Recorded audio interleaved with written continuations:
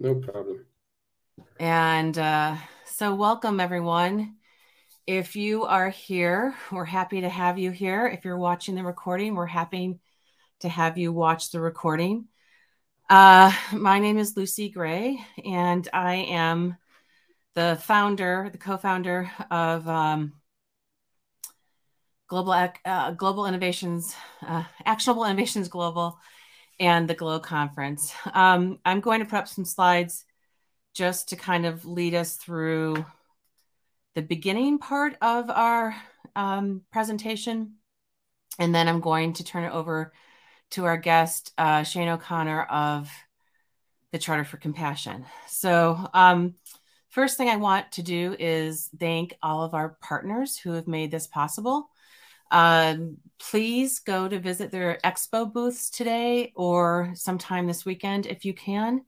Um, the conference will be, the booths will be open through Sunday morning US times, uh, North American times. So please stop by, um, leave a comment for them, thank them, uh, ask for more information. Uh, these are all programs and they all have programs and services that can help take your, um, help you globalize your school or help your school innovate. So they've been really supportive of our work and we want to thank them and we hope you stop by their booths. The other thing that I want to mention is um, we are encouraging people to share out their reflections and thoughts on social media using the hashtags GlowEDU and GlobalEd22.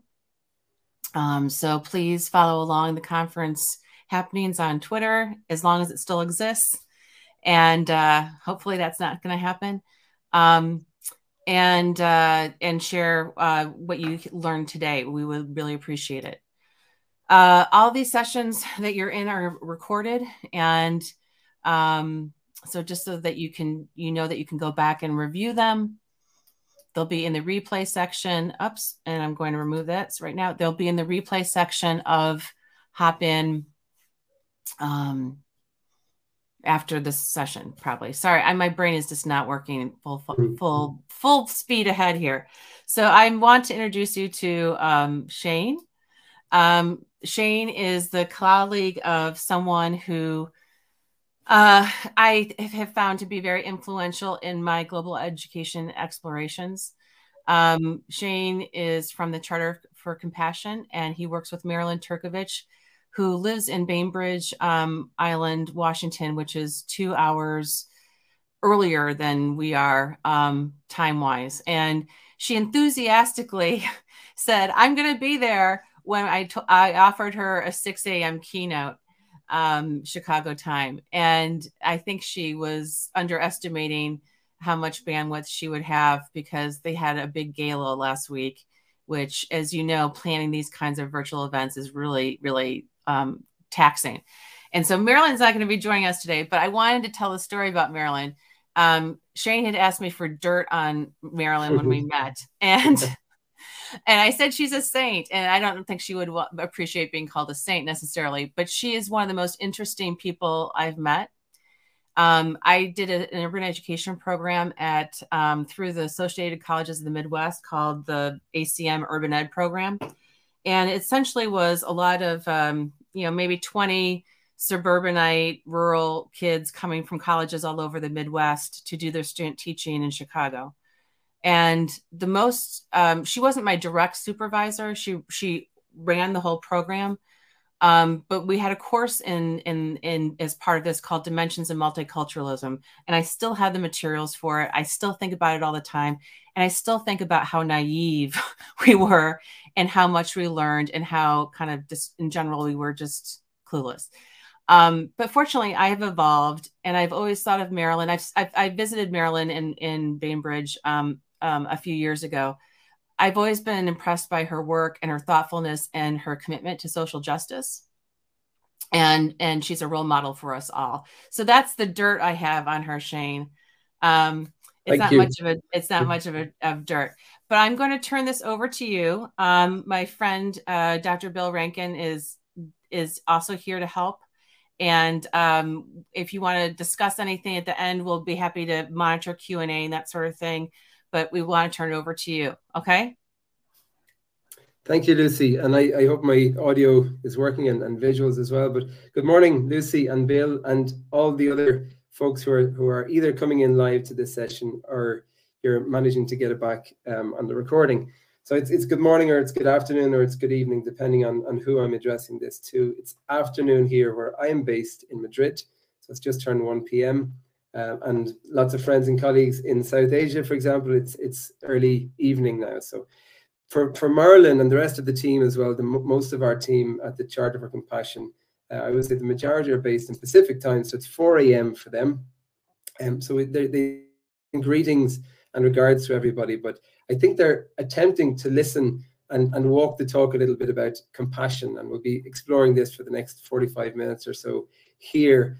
Maybe some of our definitions, our tools, our ways of working with compassion. Um, but for me, as a, an educator um, and as a father of two young girls, I'm finding out day by day that talking about it, you know, talking about the science, talking about the brilliant evidence that's out there for compassion and kindness is one thing, and and actually doing it and showing it and modeling um, in order for others to to mimic, particularly eyes and voices and souls. That it, this is what I'm attempting to do, and for a lot of the time not getting it right. So when I'm originally from Ireland, as my accent can probably tell, um, but I'm based here in Madrid, in, in Spain, capital of Spain.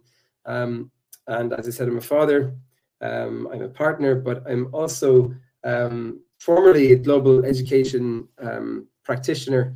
Um, and I am, yeah, I'm, I'm from the Republic of Ireland. I've spent a lot of time working in the north of Ireland with young people in conflict, in different NGOs, peace organizations, and human rights organizations, but also just to, to put some, some context on how I got connected to, to an international audience is that I've, I've worked and lived um, and learned overseas in the global south for uh, the best part of two decades now. So mainly in the Middle East, um, living and working in Palestine for, for some time in East Africa, a uh, small bit of time in West Africa, and also in Latin America. So my, my background into global education mostly comes from being on the ground and less of it from an academic point of view, um, although I've uh, challenged myself to go back from time to time. So education for me is very much um, non-formal, informal, and there's there's certainly a space for formal education as well. So there's a couple of questions that I'd love to, to sort of put out there today for anybody watching in. Um, I'm going to explain a little bit about the Charter for Compassion and hopefully share some of the tools and some of the the ways that the Charter for Compassion that was set up coming up to, to 15 years ago um, as a call for all organizations, all religions, all political groups, communities, and so on to be more compassionate, to walk the talk of compassion that was coming out of initially um, the concept of the golden rule. So to do to others as you would like done to you, or potentially don't do to others as you wouldn't like others do to you. So that was seen as a common thread between most world religions today, uh, and also I would say at the bottom and the heart of many political groups, although walking the talk is not necessarily what we see on a daily basis. So we'll share a little bit about the story, but but more so what we're trying to do now, and and if we can leave our audience with some tools and some information, but probably more questions, I think that would be um, serving me well. And just to be very honest, a child's room, it's not a a studio here. Um, it's one of my daughter's rooms. Is that question even for me this morning before turning up was is it is it compassionate? Is it the most compassionate in this moment, uh, in this day on a Saturday, to actually be here, uh, to be present, to be able to present the Charter for Compassion, um, some of our ideas, some of our connections and networks, um, or is it more compassionate to be somewhere else right now? And I, being when I say I'm going to try to be honest, I don't know if I got the answer to that.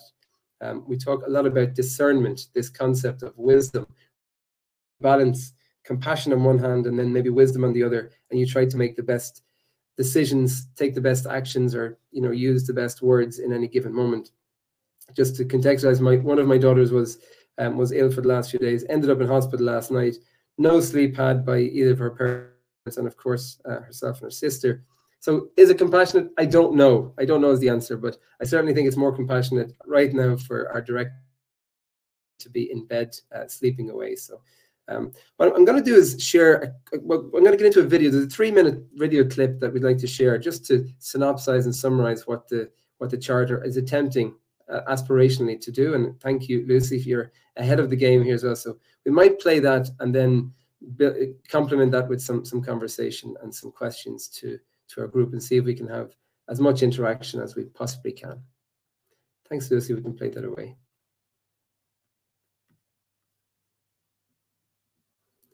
Can you click on it in your window? Yeah, yeah, I was just just realizing that now myself. So okay. And for some reason, of course, Murphy, Murphy's a good friend of mine. Murphy's law always kicks in when we need to do something live like this. Now, here we go. Uh, Murphy doesn't always want to cooperate or collaborate with me. Over the past 10 years, the Charter for Compassion has grown to become the largest network in the global compassionate movement.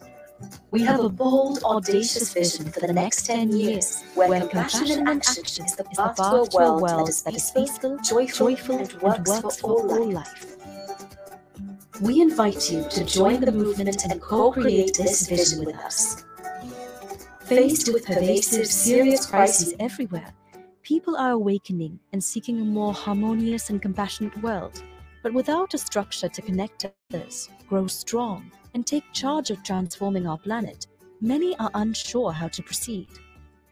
That's where the Charter excels.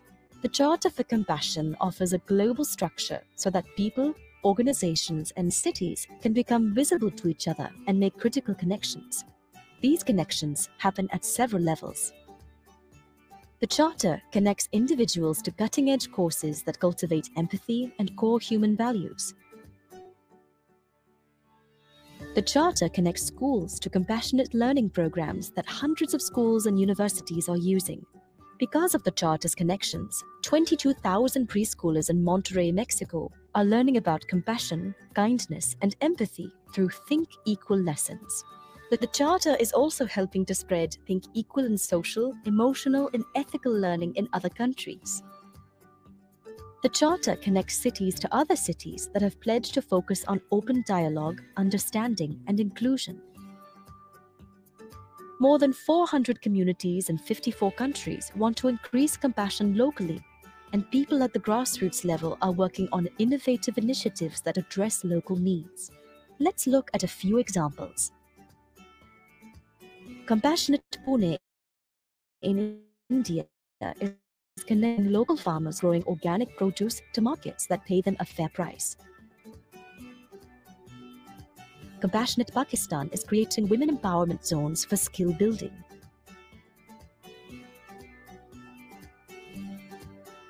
In Belfast, Northern Ireland, volunteers are hosting compassionate cafes to heal political and religious divides. In San Pedro, Mexico, Las Madrinas, the godmothers, are rebuilding lives one roof at a time.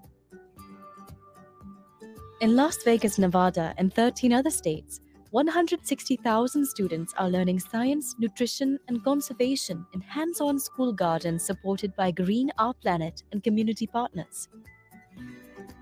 In our role as a global connector, the Charter brings together thousands of partners, supporting organizations and people worldwide so we can learn from each other, share best practices, and co create solutions for the peaceful and compassionate world that we all desire. The Charter for Compassion is sparking a global movement and becoming a powerful engine for planetary transformation. Join us. Compassion is an urgent call to action. Investing in compassion is investing in a better future for ourselves and our next generations. At this critical time in humanity's evolution, please support the Charter's global movement to co create a world that works for everyone.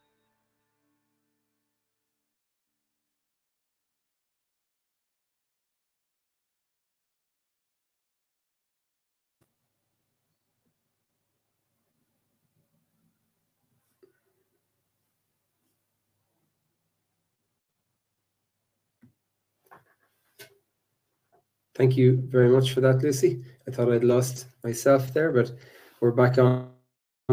Yeah, the charterforcompassion.org is a website, and rather than this being a promotion for for our organization, um, which is really a network of networks, um, I'd like to maybe just pose some some questions and and hopefully ask for for some feedback as well. Um, so yes, I'm just making sure that I'm not, I'm not, not sure if that video played. I hope it did. It did for me at least. So if we if we managed to, to see the three minutes about the charter in a more visual, um, articulate and succinct way, then I'll put in in three minutes. I hope you got something out of that, and and some questions might come from that as well. So I say the charter is a network of networks. There's two main um, functions for what we're trying to do. There's two two main goals or even aspirations, and we talk a lot about having aspirations rather than unrealistic expectations being a compassionate act in itself. So they're not necessarily goals or hopes, but they're aspirations. And it's it's very much progress, not perfection, that we're trying to to focus on here. So the two the two aspirations really are to work with grassroots organizations throughout the world, wherever they might be, to address their needs. So to empower others and learn in the process, but it's grassroots. So it's communities, uh, you know, on a really global basis. Um, and we've ways of doing that to create our networks and for our networks with other networks around the world. So the, one level is very much grassroots, working with communities to identify what are those needs and then um, coming up with tools using our other partnerships to be able to address some of those needs. And the second area is really to focus on education. So how we can impact and plug compassion more into education. It is within education programs, thankfully, and we're seeing more of it, more and more of it every day. But within the Charter for Compassion, we have the Charter, um, the uh, the Charter Institute, Educational Institute, sorry, the CEI, the Charter for Compassion Education Institute, training in various different topics relating to compassion, from compassion science to CIT, compassion integrity training, um, and many, many other trainings that exist around the world, which are being facilitated by the Charter for Compassion, but mostly are facilitated by other groups in other parts of the world. So education is very much a focus and to insert compassion where and when we can within curriculum or curricula. So it could be formal education or non-formal, informal education. So the two strands, grassroots, community connections, and then also education and I can talk a little bit about how, how we're trying to do, how we're attempting to do that in various different parts of the world. The two sort of takeaways tools, if you were to click on the website, um, the chartercompassion.org, the, the co-creators map, and I'm going to try and spend a little bit of time at some point in the next 30 minutes or so, just explaining and navigating, uh, or people will get it much quicker than I've even got it, but the co-creators map is one way to do that. So you can literally sign up as an individual, as an organization, as an institution, as a town or a city, and hopefully indeed as, as a nation, hopefully soon. It's a fairly new addition to the Charter for Compassion, and it was a it was a, I would call it a, a, compassionate act from somebody working in the tech world for some time who decided they wanted to put their efforts, experience, and um, expertise into creating a map which is really simple to use that can share links around the world, share themes and projects, um, and share inspiration, what, what's actually happening in different parts of the world. Those that are curious to learn more and those that are already doing it but want to connect with others outside their community um, and, and to, to bounce energy, bounce ideas, and bounce inspiration on. So the co-creators map is, is very much something that we'd like to to show because it's walking the talk. It's not um, coming up and, and regurgitating science about compassion and um, and talking about these you know wonderful things. It's it's an action based project, and we want people to own that. In fact, as Marilyn, our director, often mentions, there's no ownership to this particular project, the co-creators map. The charter will be happy to give that project away to another organization that can really utilize it. But for the moment, it's it's containing, it's hosting the co-creators map. And then the other thing that I've been really inspired by recently that we'd love to share with you. Maybe a couple of short examples. It, it's a grassroots wisdom book. And this is where, if there's any creators, app creators out there as well that might be watching this, or people who know somebody who can create a really quick, versatile digital app, it's it's using the science of compassion, but also using the concept of giving and receiving as quickly as we can, knowing that this affects us on a physiological, emotional, psychological way. So observing and being part of an, a compassionate act or a kind act of some kind. It's where people can put that forward. Now, at the moment, we have it on our website, um, and you can just click into the website, the charterforcompassion.org, and go into the um, the this either co-creators map or the grassroots wisdom book, and you can share what what's been happening in your in your community, in your family, in your in your you know wider community. But you can also listen and read and connect with what's been happening in other parts of the world. And then when we know, even on, our, on a short-term basis, by me reading this morning some of these stories before coming on, I was affecting my nervous system. I was affecting my ability to be able to be more present in any given moment.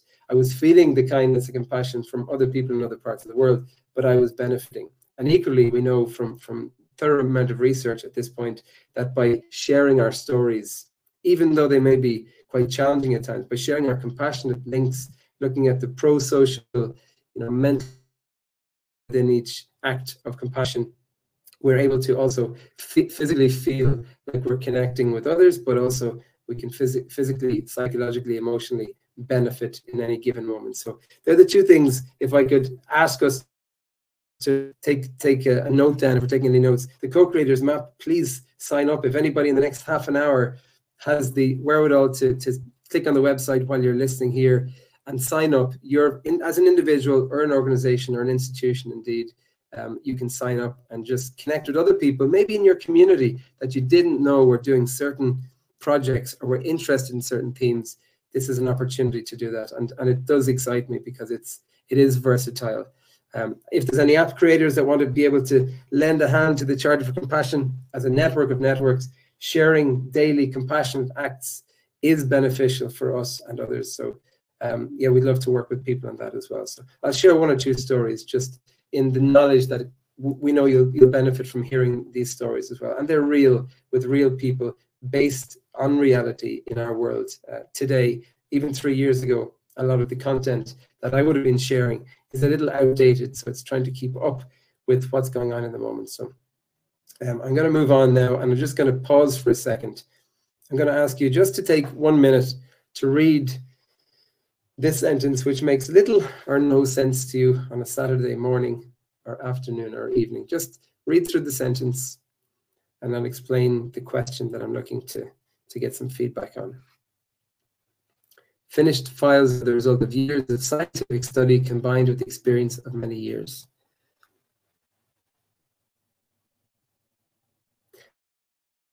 Some of the questions that are coming in, thanks for sharing them, Bill. So we'll try to get to some of them as well within the next few minutes. But just now, for the moment, what am I trying to get at here? This is a sentence you may or may not have seen it before. It's just words, just letters. The question for you, just to get the brain working in a slightly different way, how many times, and you can put it in the chat, you can share it if you want. It's, it's no, there's no judgment in the answer to this question, as there shouldn't be judgment to the answers of any questions, but we're not trying to see who's smart and who's not here. This is just what do you see? So the question is within the sentence, how many times can you count or see the letter F for football. A controversial topic right now as the controversial World Cup kicks in this weekend. How many times can you count or see the letter F? And we'll leave it up for a few more seconds. And if we get loads of answers flowing in, great. If we get none, that's okay as well. Just how many times can you see the letter F?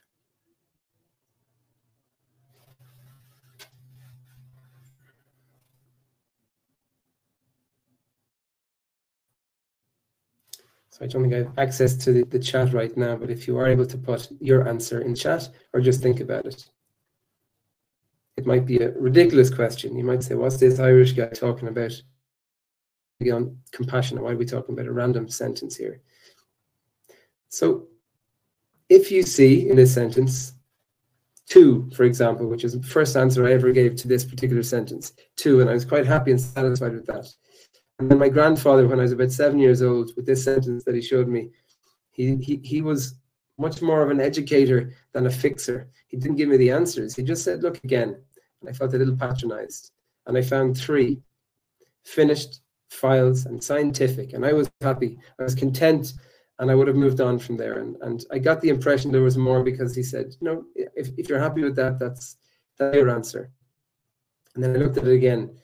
And my grandfather has since passed on only a few years, but he was a wise man and he taught me many different things. But this is probably one of the strongest lessons he ever taught me that it's it's not necessarily always having the right answer, but knowing that we don't know certain. We don't know what we don't know. We call this epistemic humility in the area of the science of compassion as well. So finished files are the result of years of scientific study combined with experience of many years. There was more than three. I looked again and I found a little F in the word of, and there was another of, and in fact, there were three ofs. So there are six is the official answer to this question. Now, I've taken this little activity and I call it blind spots. There's certain things in this sentence that I wasn't seeing as a young person or a teenager or an adult because I wasn't looking for them. I presumed there were three or two F's because the sound F was coming out to me three times. I wasn't looking for the of because it sounded like a V, and in I was challenged by that. This is just a very simple activity, but there's many activities that you probably see on a daily basis. There's many episodes, there's many involvements and situations you find yourselves in where we think we know the answer to the question because it's so simple. It should be right there in front of us, but in fact, we don't always know the answer. And there's about 240,000. The average human has about 240,000 blind spots, scotomas.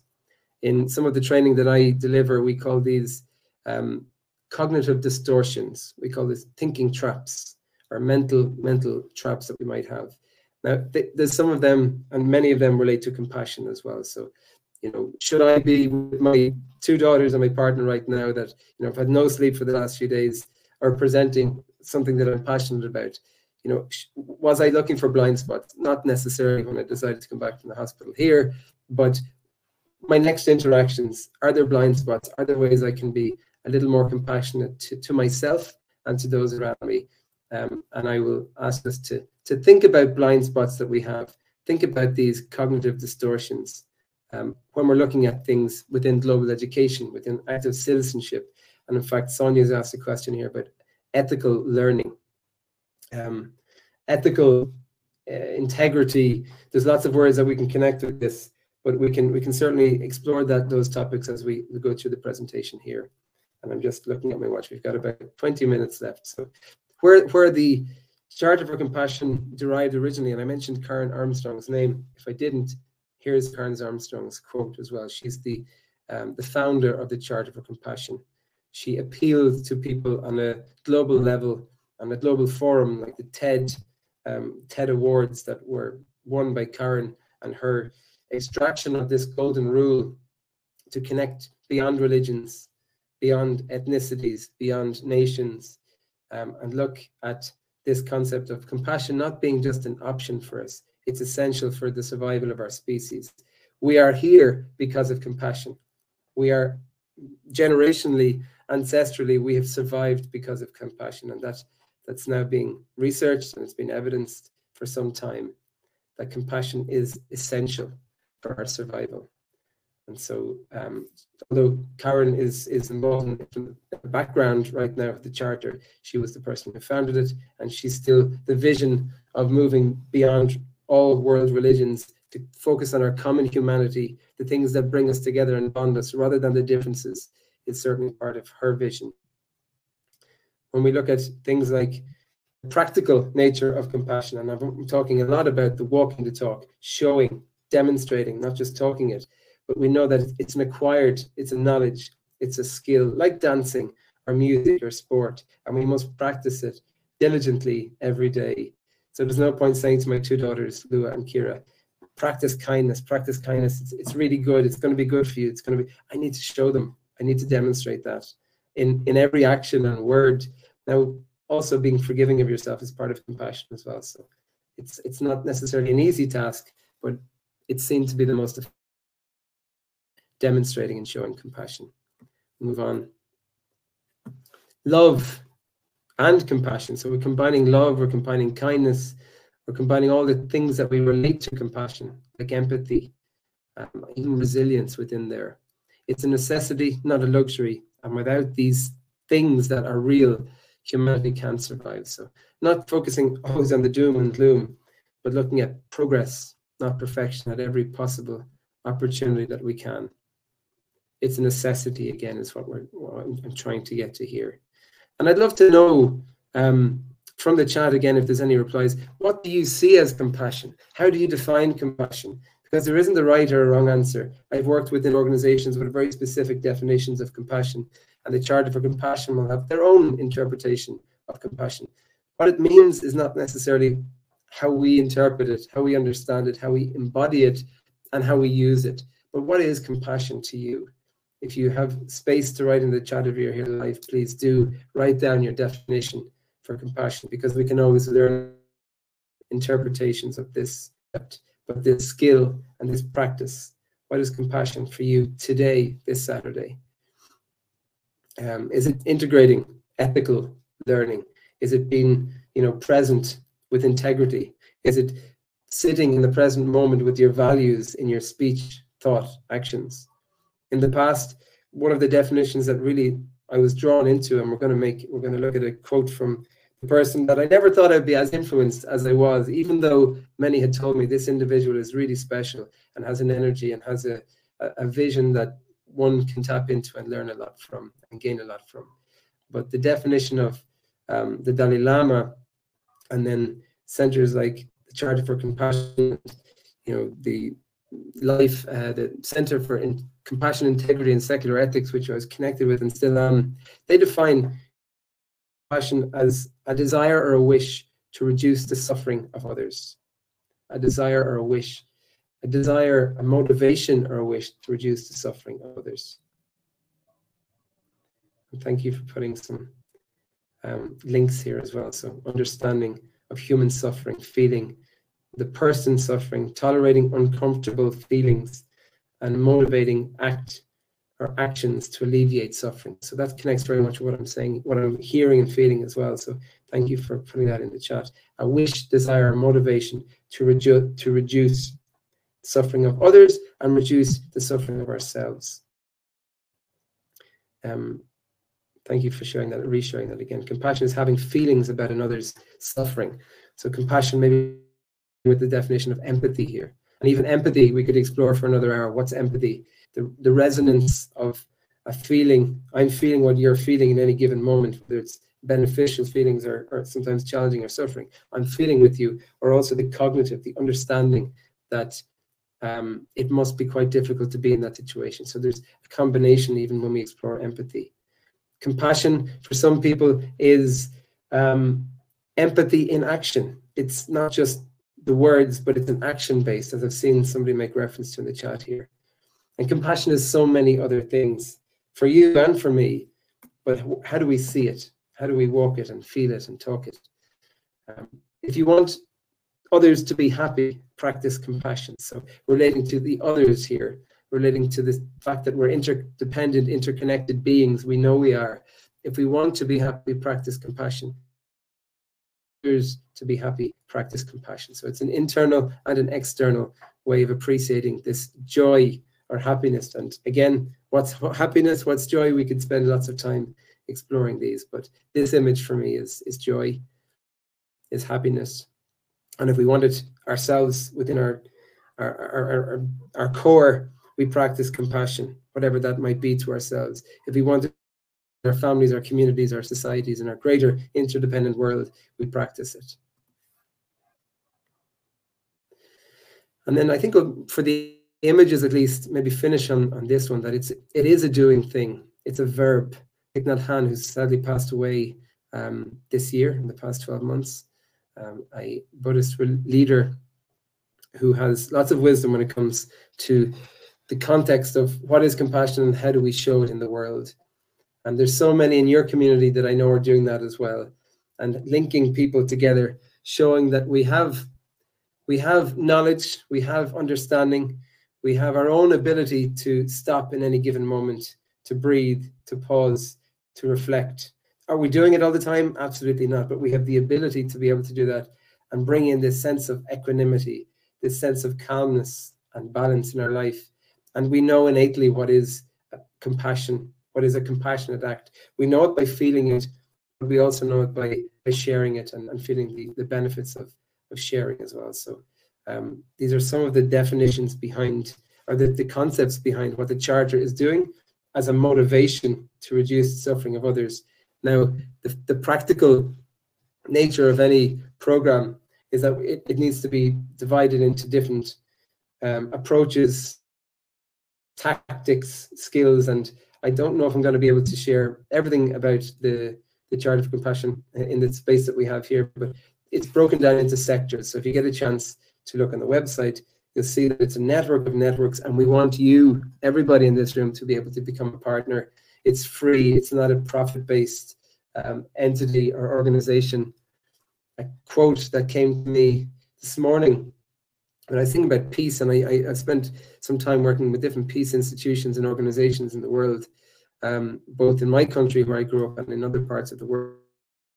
And although they were inspiring places and doing inspiring things, the amount of burnout, the amount of people that knew compassion, wanted to work with compassion, but somehow were distorted, like the blind spots, in their quest to become compassionate for others and themselves. You know, I've seen, unfortunately, so much bullying, so much burnout, so much mental health uh, challenges by people who wanted to do whatever we knew the quotes good things, compassionate things, kind things. Somehow the world and in all that it has to offer was was challenging uh, me as well as one of these individuals. I'm far from from yet. Um, to be aware of these distortions, to be aware of these challenges, and to use compassion itself as that tool whatever and however you might use your your form of compassion. But uh, I am aware that the, uh, the concept of peace and the definition I used to use was if we waged for if we waged for peace, what we see as peace, with the same intensity with which we wage for war, there wouldn't be any war. Wage for peace with the same intensity with which we wage for war, there wouldn't be wars. Bringing that back to compassion in this area that I'm working in now and, and sharing um, in terms of the, my role within education and the Charter for Compassion. It's a question, and I don't have the answer for this, but if we waged for compassion and kindness, how we define these things, I would say to my children kindness, but maybe compassion is, is what, you know, people of an older age group can get and understand. If we waged for compassion with the same intensity with which we wage for profit, for more, for more again, um, would we have poverty in the world today? Would we have the same destruction, the same gaps between those who have and don't have? Um, I, I, believe I have a premise that we wouldn't, but it, it's a question. If and what does that look like if we were able to wage for compassion with the same or even half of which we wage for profit and gain, and sometimes greed? I, it's it's a question I leave you with this Saturday afternoon, but uh, it's a question that I'm I'm thinking about as well. So the areas that we look at, we've got arts. We're focusing on arts quite heavily, uh, particularly in the last week or so with the Charter for Compassion Gala, which we're using arts to explore and explain and connect with people on compassion. Business, how can we be more compassionate within business? Education is the connector that brings many people here to this conference and to these sessions. Environment, um, free floating anxiety out there from the age of five. My daughter is coming back scared with questions about the environment that I don't have the answers for. But collectively, do we have the answers for how we can be more compassionate within environmental education, but also within how we treat our environment? Gender partnerships, health, uh, peace. Obviously, we, we are connected with many peace initiatives in different parts of the world, and restorative justice is something separate to that. So, looking at justice and peace in, in two different areas. Um, we have a program called Rise, which is religious interfaith spirituality for everybody. So it's um, you could say they're all one part of one program, but in the Charter for Compassion there are three: peace, restorative justice, and then this Rise program. Science and research, how compassion can be plugged more into science and research. It's there in front of us. It's backing it up. Um, and then social justice as another area to really focus on to get people um, feeling resilient within that area of social justice, practicing the compassion on themselves so they're not burning out, as I've often done as an activist myself um, on certain themes and topics, but having the tools to navigate the, the, the areas like social justice. And then finally, social services as well. What do we need to provide? What do we need to receive? How can we pl plug in and link compassion within all of these 12 areas? So we've we've broken these down and we want partners in all these areas. And that's why I'm sharing them with you right now. So you can click on any of these areas um, to, to connect and join.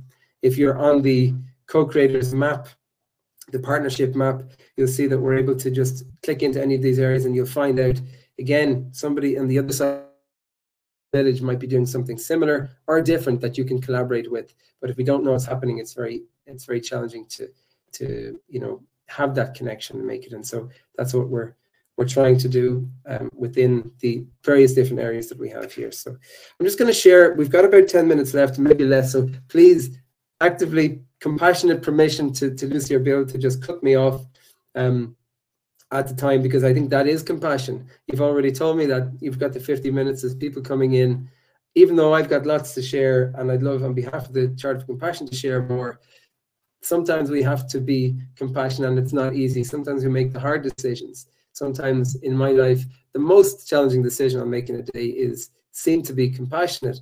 But I know that sugar is terrible for our kids in the evening times in particular, processed food. Saying no to, to, to that is a compassionate act, in my opinion. Is it the easy act? No. Does it seem like it's the most loving act in the time? Probably not as well. Um, and likewise with all the other things that exist out there that are are challenging us. Sometimes we, being compassionate is the toughest thing to do, but probably long term the most um, effective and um, compassionate in, in, a, in a greater scheme of things. So there's a couple of stories. I'm not sure if I have the ability to share the stories live right now so you could see them, but maybe just to, to make reference to they're they're on within our um, grassroots wisdom book. Just stories to maybe leave you with, and if there's questions coming up that we didn't get a chance to answer, I'm also available afterwards. And I'm sure any of our team would love communication if you have specific questions that you think we might be able to, to address and, and connect with. Um, I would the, the, final thing before Sharon's actually I'm going to integrate it within this next conversation, but in, within the wisdom book, I believe the first story that we can op- open up in terms of topics and leading to ethical uh, life is, is one of the areas that we're looking for stories of compassion. And there's an individual who remains quite anonymous quite a lot of the time, but he took this concept of the golden rule and he developed it into a, a book, a booklet that he wants to share with the world. And he calls this concept golden rulism. Um, it's one individual who said he had been wanting to do this for years and years and years, but time caught up and never allowed him. Eventually said, okay, I'm gonna I'm gonna come up with something. I'm gonna put this into the realm and try to get educators, parents, grandparents, and young people alike to, to connect with the golden rule of, you know, do to others as you'd like others to do to you, but adapt that and try and bring it into action, giving guidance, giving a um, almost like a, a, a guide how we can do that. And so for adults, they'll get this concept much better because the, the theory of mind would state that young people, it used to be thought up to three years old, young people can get these concepts of empathy and detaching from the way your mind works. But but now the research is indicating that's a little older. It's maybe seven or eight, and and even upwards to teenagers. So maybe not using the language of do to all others uh, directly or indirectly as you would like them to do to you, but maybe making that much more youth friendly or child friendly. Or in fact, in terms of golden rulism, they also focus on maybe don't doing to others directly or indirectly what you would not want others to do to you simple message for maybe us if we get it like this, but how do we put that into action? And so there was a book, um, and it's free, it's downloadable on the website as well, on, on the Charter for Compassion website, the Golden Rulism booklet.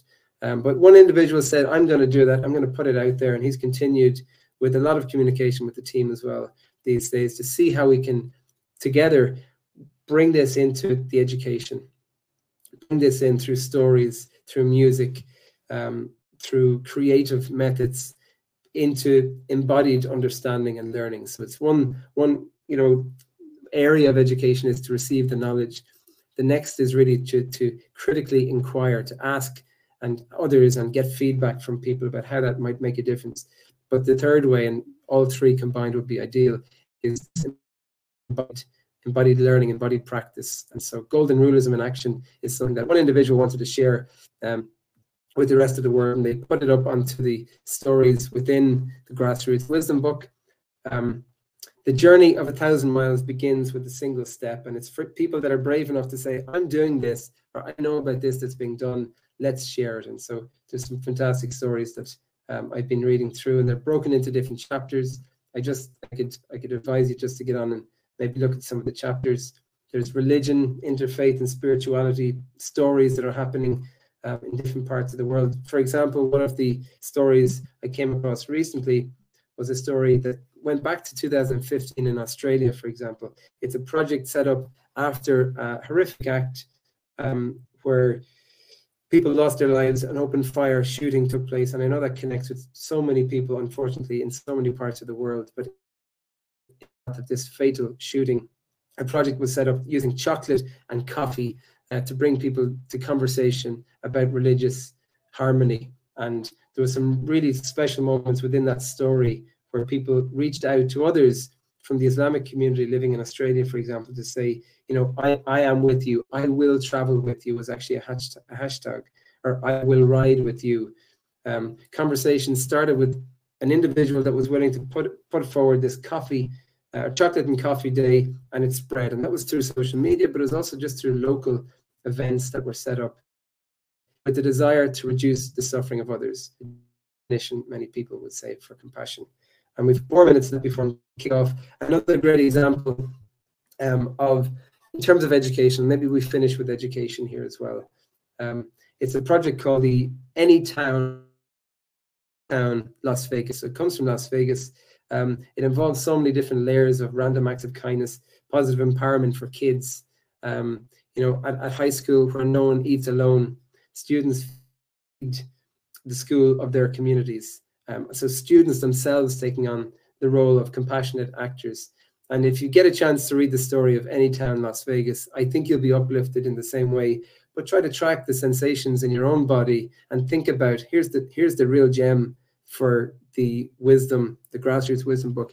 This is stories that can be applicable anywhere. You can take the messages, you don't have to transplant them directly into your own communities, but you can take the ideas you can transform people's lives by taking the ideas of what's been working in other parts of the world. Anytown Las Vegas is focusing on anti-racism, focusing on allyship, focusing on solidarity, but it's really using groundbreaking techniques to challenge discrimination and prejudice and bias within people's minds. Um, it's trying to implore people to to learn about self-worth through recognition um, of their own abilities, connection with their own identities and cultures and ethnicities and celebrating that and, and looking at so many other ways they can you know promote their coexistence promote their um, common humanity. And so there's yeah again the reads if you get a chance to read through the stories they're inspiring and i think that's essentially in a nutshell what the charter for compassion is attempting to do not do everything to all people but create a network where you can come through you can share your stories, you can share your acts of, of receiving compassion, but also giving compassion, and know that you're benefiting others in other parts of the world. So um, there's there's hundreds more pages of stories that we could go through within environmental programs as well and projects um, like compassionate tree projects in different parts of the world that you just you, when you see them you know they're working you know individuals were they were just thoughts that became actions driven by the motivation to to have an impact in this area of compassion. And I, I have asked myself the question many times over: What's the best way I can use the whatever space or time or energy I have left, and my own lessons from living in in often conflict situations. And it's definitely through education. It's it's why I'm working in education today. So if you have any ideas, connect please with ourselves and the Compassionate Education Institute.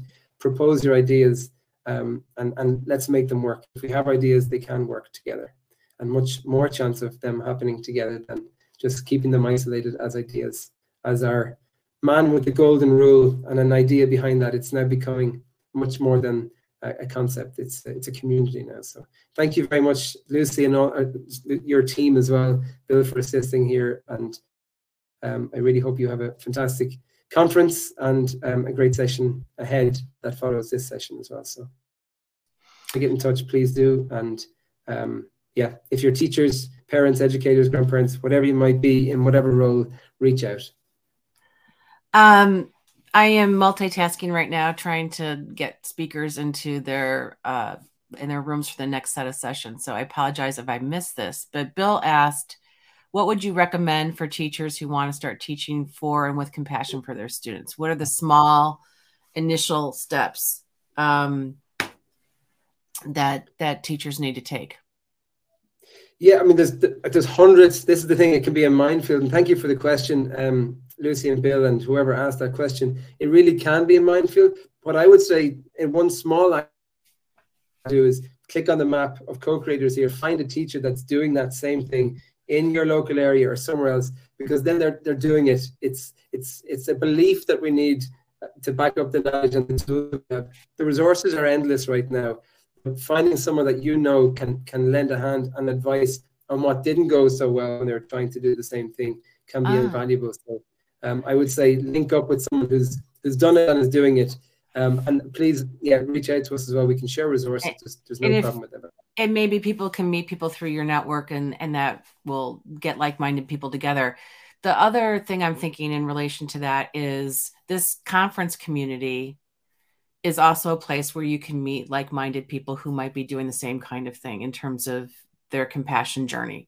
So so you know making friends in our chats here or connecting to people on social media so you get to know them better.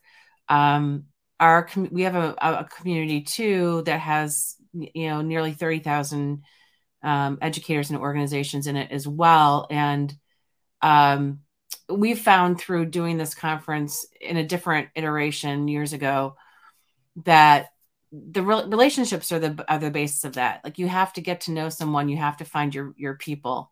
And and then all sorts of things can happen. And it would be really interesting to be part of a group that's specifically focused on on this one thing. Um it's not one thing but it's an all-encompassing thing i think.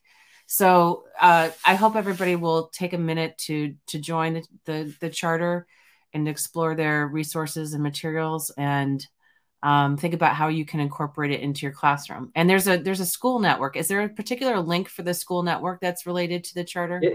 If, if you go into the, the schools, there's, there's, so much that's happening right now within schools. There's a, a, project that's about to be launched which is schools collaborating for compassion and that's linked with the youth collaborating for compassion. So that's that's live it's happening. I'm involved in that okay. and would love to get more people involved as well. So okay. reach out through, through the network through the through the, you know give us an email and and we'll get back to you for sure Okay. Um, I, I'm aware, Lucy, that there was one question Sonia asked about ethical learning. In a nutshell, ethical learning for me, uh, as an educator as well, it, that, that tries to work in this area, it's value-based um, education, value-based learning. So exploring what the young people's values are themselves and giving them the space to explore what values are.